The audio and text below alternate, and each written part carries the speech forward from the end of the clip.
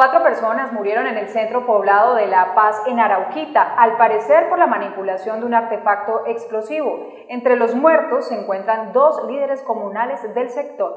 Cuatro personas murieron en el centro poblado de La Paz, en Arauquita, cuando al parecer manipulaban un artefacto explosivo. Autoridades investigan los hechos donde también aparecen muertos dos líderes comunales. El día de ayer, en horas de la noche, recibimos una información donde nos dan cuenta de, al parecer, la activación de algún artefacto explosivo y en el cual eh, en esa activación fallecen cuatro personas.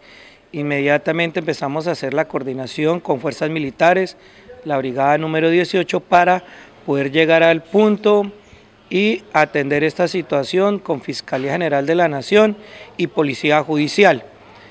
Mientras que se aseguraba la zona, pues hemos estado buscando recolección de información, hay muchas versiones, algunas que salen en redes sociales, Básicamente aquí lo que podemos decir es hasta que el equipo de Policía Judicial, este equipo especial que se ha designado para que acompañe la Fiscalía General de la Nación, no llegue a terreno y pues recoja y haga todos los actos urgentes, recoja todos los elementos materiales de prueba, pues no vamos a poder tener certeza exactamente de qué ocurrió.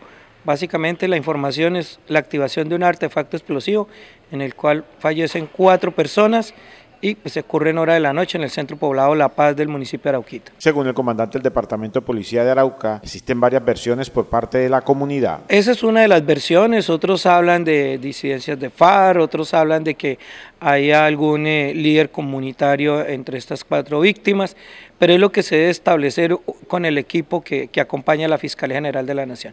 El ejército acordonó la zona para que ingresaran los funcionarios del Cuerpo Técnico de Investigación Criminal CTI. Se está ingresando a la zona, el ejército ya se encuentra en el punto, ha acordonado el área, estamos haciendo el movimiento helicoportado, para que se cumpla con toda esta actividad y haya todo el acompañamiento institucional y se pueda aclarar los hechos. De otro lado, la comunidad denunció ante la Defensoría del Pueblo que entre los cuatro muertos hay dos líderes comunales. La información que las comunidades llegaron a nuestro despacho es que hubo una explosión ayer en la tarde en el centro poblado que perdieron la vida cuatro personas, dos de ellas tenemos identificadas como pertenecientes a las juntas de acción comunal, dos personas más la misma comunidad nos dice que son conocidos y que viven en esa zona.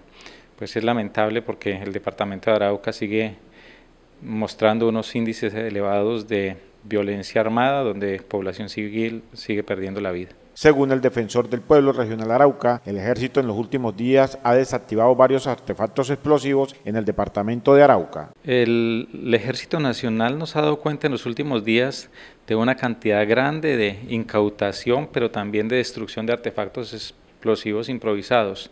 No tenemos la información precisa, pero sabemos que en la zona hay alta presencia de campos minados eh, puede ser una acción accidental en la que cayeron estos campesinos, como también hay una versión que podría indicar que hubo una manipulación del artefacto. La Defensoría del Pueblo en Arauca exigió que los levantamientos de los cuerpos lo hiciera la Fiscalía General de la Nación y no las funerarias. Sí, hay una costumbre malsana y es que personal no autorizado hace los levantamientos como personal de las funerarias. Insistimos hasta última hora y gracias a Dios se dio de que la Fiscalía General de la Nación pudiera desplazar policía judicial y pudiera desplazar la fiscal local de Arauquita a hacer el levantamiento de los cadáveres y a recoger las pruebas para que se llegue a saber realmente qué fue lo que pasó en el centro poblado La Paz.